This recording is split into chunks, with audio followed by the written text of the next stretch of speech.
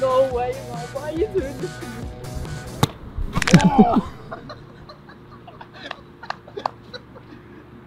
Lad, that's hard, bro.